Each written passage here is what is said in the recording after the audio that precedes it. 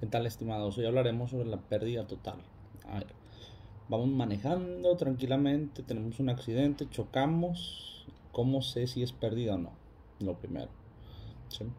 El vehículo se va a ir a un taller. Se va a ir a un taller, tiene que entrar con un taller de la aseguradora que está en convenio y van a hacer una evaluación. ¿Cuánto tiempo lleva?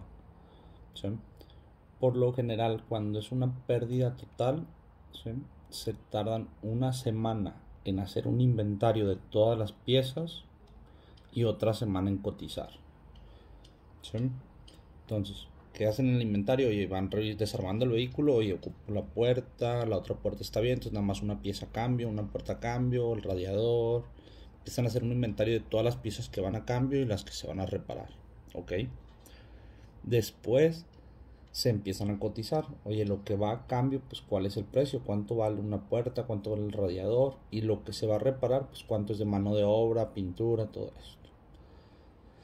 Estos montos se suman y da un total.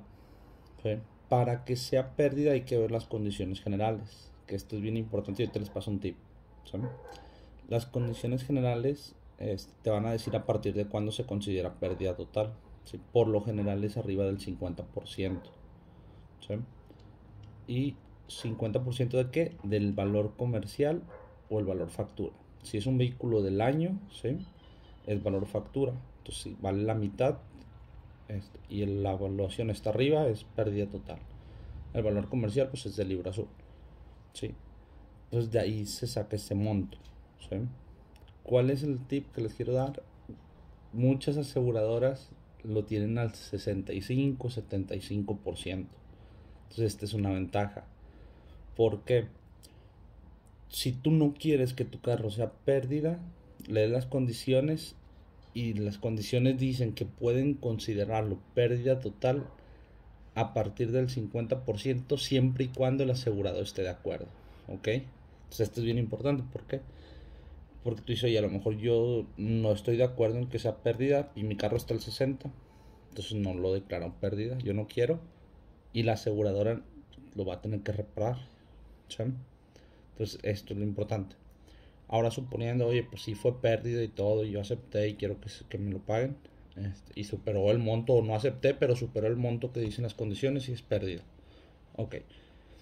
Ellos te van a pedir varias cosas. Te van a pedir las placas. Si en este caso vas a tener que ir al taller por las placas y en ese momento aprovecha y retira todo. Oye, que tengo los tapetes, que tengo cosas en la guantera mías, que tengo los lentes, todo. Eso lo quitas, te lo llevas de una vez junto con las placas. ¿sí? Y pides la orden de reparación. Muchas veces el taller no te la da. Si no te la da no pasa nada. Este, pero de preferencia pídela.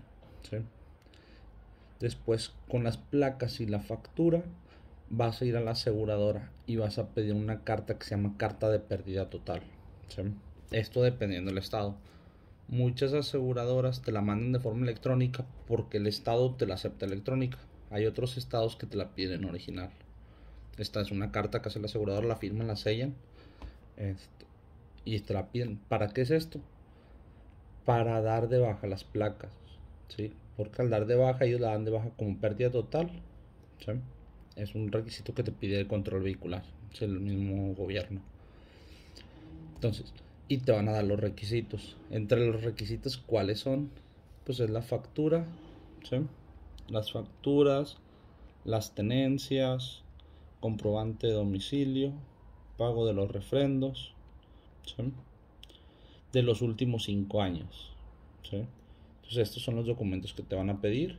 Este, si es importante, en dado caso que seas una persona moral, pues, te van a pedir si refacturas. Si es persona física, te van a pedir los endosos, ¿sí? En original.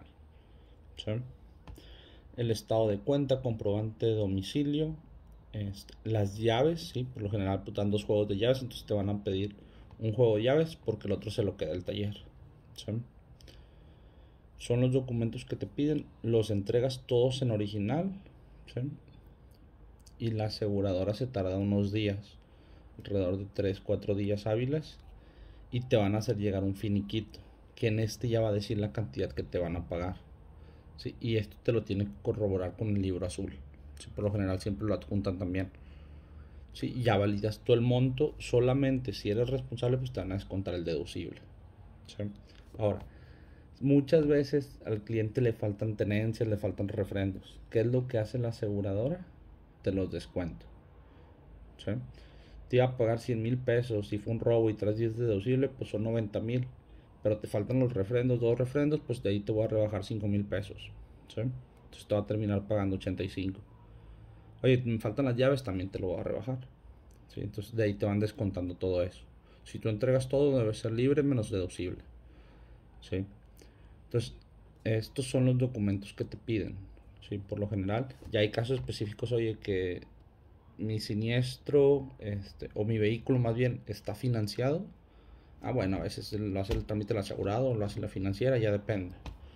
Sí, pero son los documentos que te piden entonces aquí lo que es importante es una, si no quieres que sea perdida, valida el valor comercial en el libro azul y tu aseguradora a partir de qué monto ya es obligatorio la pérdida. ¿sí? Esos son los, los, los tips este, y de los documentos pues, que te piden. Sí, es un trámite que por lo general lo que más tiempo se lleva es el que el cliente reúna la información. ¿sí? Por lo general, este es lo que más se tarda. Sí, hay clientes que no encuentran las facturas o que no tienen tiempo para hacer el trámite y se tarda y ahí se lleva el trámite. ¿sí? ¿Qué pasa con el vehículo? ¿Sí? El vehículo se lo queda a la aseguradora y ellos lo venden como salvamento. ¿Sí? Entonces, así está el proceso. Ya una vez que firmes el finiquito y todo, el pago sale por lo general en 7 días hábiles. Estás en la transferencia. ¿sí? Una vez que estás en la transferencia, puedes dar de baja ya el seguro ¿sí? Y aquí está otro tema. Ellos te van a devolver algo que se llama primas no devengadas.